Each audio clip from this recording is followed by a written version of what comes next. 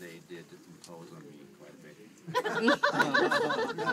so, um, Oh my god! I think you will get uh, the gist of it.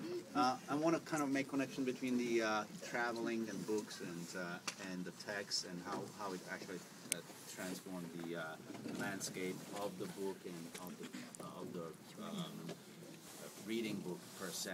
And I'm, I'm looking at the book more as a luggage than uh, uh, than uh, reading uh, uh, object.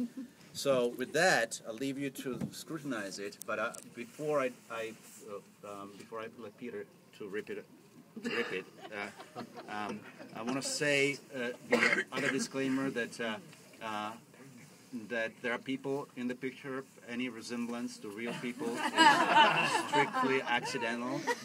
There are also books. Those books in the picture are all the books that were here. They don't have the titles but uh, it's up to the people to decide which book wrote who. Okay, later. Okay, that's gonna be in, in working. So with that, I'll let you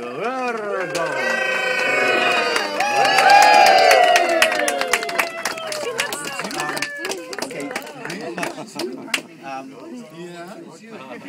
um, we're gonna reconvene at the conference room in 10 minutes. Uh, we'll, we'll leave so finish this off with of some um, some radical uh, um, exposure. Performance. Yeah, performance. Yes.